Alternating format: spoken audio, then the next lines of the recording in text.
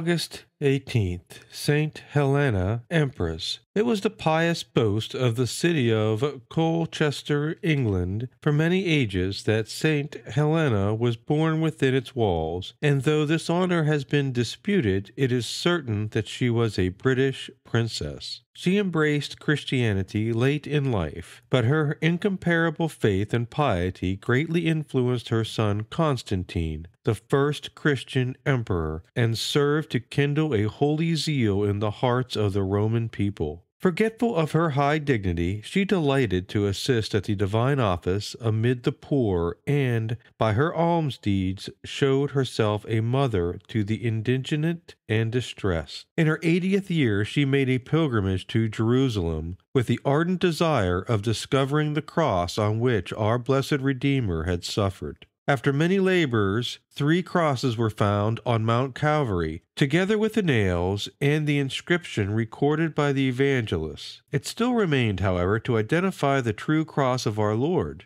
By the advice of a bishop, the three crosses were applied successively to a woman afflicted with an incurable disease, and no sooner had the third touched her than she arose perfectly healed. The pious empress, overcome with joy, built a most glorious church on Mount Calvary to receive the precious relic sending portions of it to Rome and to Constantinople, where they were solemnly exposed to the adoration of the faithful. In the year 312, Constantine found himself attacked by Maxentius with a vastly superior force, and the very existence of his empire was threatened. In this crisis, he bethought him of the crucified Christian God whom his mother Helena worshipped, and kneeling down, prayed God to reveal himself and to give him the victory. Suddenly, at noonday, a cross of fire was seen by his army in the calm and cloudless sky, and beneath it the words, Through this sign thou shalt conquer. By divine command, Constantine made a standard like the cross he had seen, which was borne at the head of his troops, and under this Christian insignia they marched against the enemy and obtained a complete victory. Shortly thereafter, Helena herself returned to Rome, where she expired in the year 328. Saint Helena thought it the glory of her life to find the cross of Christ and to raise a temple in its honor. How many Christians in these days are ashamed to make this life giving sign and to confess themselves the follower of the crucified?